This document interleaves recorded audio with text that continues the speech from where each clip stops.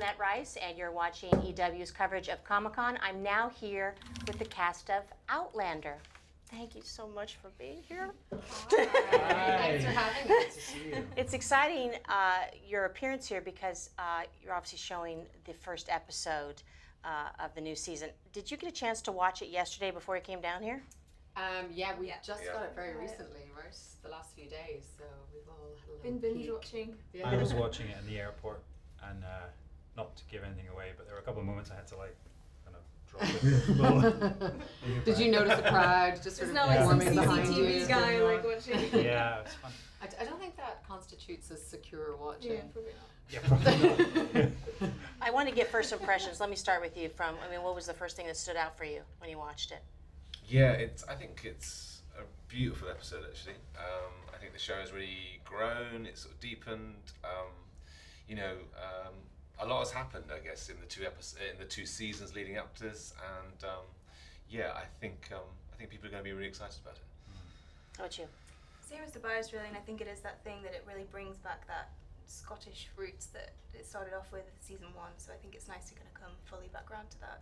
hmm I love your age makeup too. I mean, the, the period stuff is legit. Yes, the age makeup was really Do you have a extensive. lot of age I know, I know. You, yeah. I went method, Lynn. Yeah. I did that. I just got old for Right. it, you know.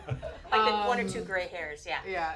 No, I mean, what what what really blew me away was because I, I obviously wasn't part of any of the Culloden stuff. I didn't see any of it. So Sam's performance and that whole part of the storyline was just really. It was so cool to watch it as a completely unbiased viewer and you know not having had anything to do with it. So it was really beautiful. Well done, darling. Oh, well done, you two. Actually, I haven't seen you because I, I was didn't see their, their stuff, and I, I thought it was just amazing. The stuff in Boston is really, really strong, and uh, their relationships is uh, so Yeah, it was nice to see the other bits of the story we hadn't seen. Yeah. Mm. Especially all the action of Culloden and everything. It's nice to get some Um, action. Yeah. But I it's thought it was really very cool. sad actually because it's a real goodbye to to not only Scotland but also to like a lot of our cast. We had to say goodbye to, uh, especially to, to Grant and, and all the Highlanders. Yeah. That's really sad. But we have new people to play with. Yes. So that's Yay. good. That quiet guy down there. What did you What did you think? We don't let him First speak. Yeah. No, What do you they think don't. that- In fact, they don't even they don't even give me a chair. with my- I don't even get a seat.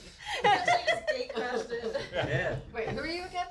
I'm Richard. I'm, uh, I'm one of the I'm one of the floor runners. For the show. I get these guys coffee and snacks. Yeah. And what did you think of the, the first episode? No, I haven't watched it. Yeah. All right. No, no, I loved it. I thought it was great. I think it's just it's just shows bringing in new elements of the show. I'm quite a big fan of the show. No, no, really, As he hasn't is. watched it. No, I have. I have.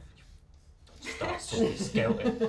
Um, but uh, yeah, it's great. I think it's um, really starts off season three in a great place, and you know, loads. Of, you know, ma- many ways it can go. It's great. It's been such a long wait for the fans for the new season. Did it feel that way for you? Uh, it, can you think back when they told you this is not going to come out until 2017? Did that seem? Did you? Was there any fear that are we going to lose people? Um, I don't of know. course, yeah. I think it's probably different for you guys because you had South Africa in between. And Well, we started Mm. filming this season in uh, August of Mm. last year. I mean, our season takes an awful long time to shoot. You know, we're just over 10 months. So I think, you know, logistically, the only way they probably could have done it is if they'd split the season in two and sort of shown first six or seven and then gone and shown the backhand because otherwise it wouldn't have been finished. Um, you know, it's it it feels you do like to have that momentum, and you do want the fans to sort of continue to be engaged. So it's unfortunate it takes us so long, Mm. but that's just sort of the logistics of making a show like this. and then I think it's nice for the fans to be able to binge watch, you know, like it come out week by week instead of having a season break, which I think is then kind of hard because then they'd have to wait again. It's Whereas at been least when nice. this is over, it's over. It's been nice having the last few weeks or months actually of sort of build up as well. You know, Starz are starting to release a lot more material, and that's been nice to see the reaction because we've been working on this so hard. You kind of forget sometimes that Mhm. people aren't seeing stuff. So yeah. um, it's been really exciting to see their reaction. You had a point you wanted to make. I'd Oh, like to, okay. I'd like No, to I'm be just, with you um, by the whole two weeks on Yeah. season. It just, I mean, it's you know, it's um, it's there's a lot of love going into the show, and it takes time, and I think I think that's worth waiting for. I mean, I hope I hope um, we haven't lost some people. I think it will be worth waiting for. But I think it's also given an opportunity for people who wouldn't have found the show originally, you know, who didn't see it when season one came out or when Catch season up. two. Yeah, they're now finding it. So I, I hope that what we've done is sort of drummed up some more stuff. Especially outside Some in the followers. UK, at least there's like Yeah. time for.